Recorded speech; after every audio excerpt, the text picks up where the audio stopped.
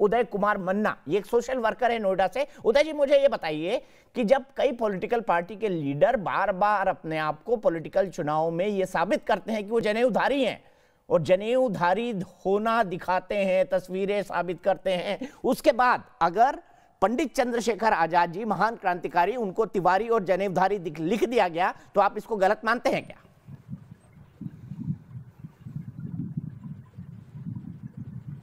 देखिए, हम लोग भारतीय हैं और भारतीय संस्कृति रही है। जनेऊ जो है, वो एक संस्कृति का प्रतीक है। यज्ञोपवीत संस्कार से ये भारत जो है, महान बनता है।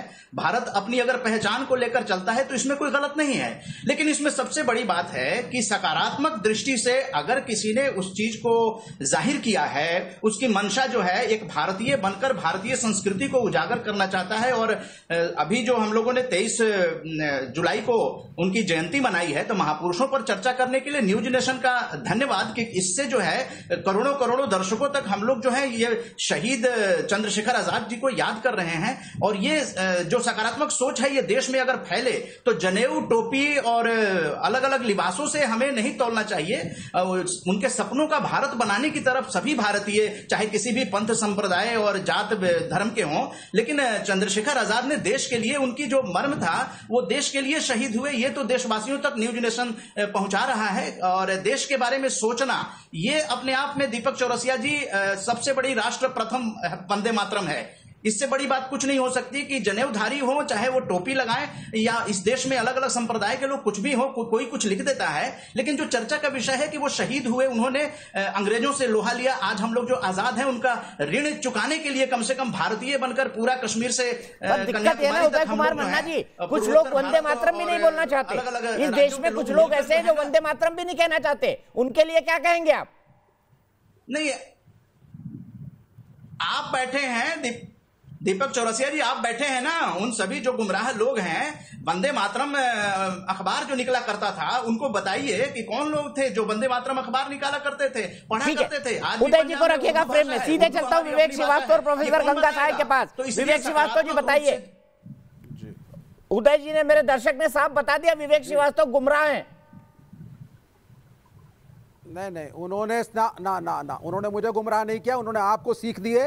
कि आप चंद्रशेखर आज़ाद का नाम धर्म और जाति से ऊपर रखिए जरा। वो पूरे देश के लिए लड़े थे शहीद थे। उन्होंने आपको धन्यवाद कहा है कि आप उनके नाम को शहीदों के साथ आज जोड़ रहे हैं लेकिन उन्होंने आपके इस नैरेटिव उन्होंने कहा ना इस देश में गुमराह लोग हैं बनिया राजपूत जो वंदे मातरम नहीं कहते जातियों से जातियों से क्रांतिकारियों को मत तोलिए। सावरकर तो चलिए वंदे मातरम बोल दीजिए। वो कह रहे हैं उदय कुमार जी कह रहे हैं कि वंदे मातरम जब बाहर निकला था किसने निकाला था? बोल दिया जय हिंद जय हिंद। वंदे मातरम बोल दीजिए ना वरना उदय जी बोल देंगे। जय हिंद बोल दिया। अरे वंदे मातरम जय हिंद बोल दिया। जय हिंद बोल दीजिए देखिए विवेक जी आप बोल रहे थे ना एक ही बात आप इन्हीं की सब एक होता आप कह रहे थे कि आप कह रहे थे कि राष्ट्र पहले संस्कृति को ज़ाहिर करना चाहिए के जालों से देखिए चौरसिया जी राष्ट्र पहले है जय हिंद बोल दिया।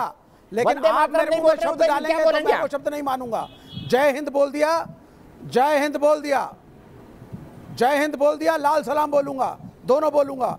और इंडिया के लिए लॉयल हूँ और इस नेशन की खाता हूँ इस नेशन की सोचता हूँ। इसीलिए कह रहा हूँ देश को धर्म के नाम पे और ये बनिया ब्राह्मण राजपूत ये सब मत करो।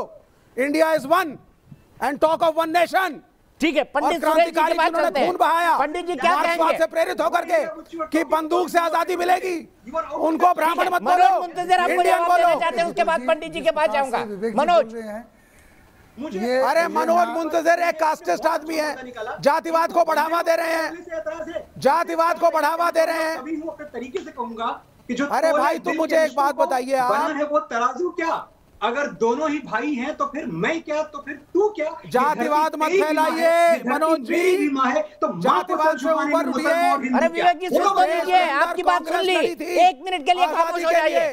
मनोज जी जवाब दीजिए। आपकी बात सुनी नहीं गई है विवेक जी। एक मिनट के लिए सिर्फ़ आपके पास फिर आऊँगा। प्रोफेसर गंगा साहब भी मुस्कुरा रहे हैं और हमारे डॉक्टर सतीश प्रकाश भी। मैं फिर से बोलूँ? जी। फिर से बोलूँ?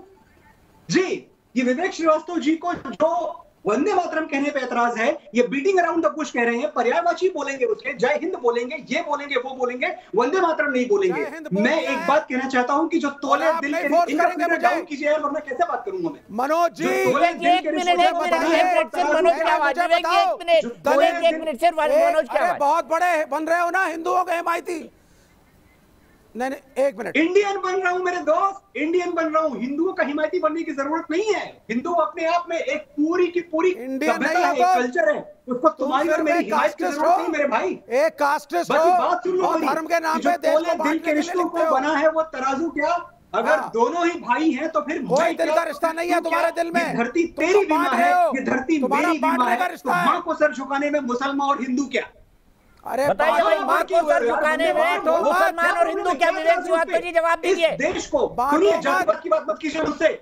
जातिवाद की बात सुन लीजिए सुनिए। देश को ऐसा मुसलमान नहीं चाहिए जो वंदे मातरम बोलता। इस देश को ऐसा हिंदू नहीं चाहिए जो नारे लगाता है मुसलमान के दो आप सुनिए। मेरा हिंदुस्तान हिंदुस्तान होगा। जिसमें एक दलित को पूजा कराने का अधिकार होगा।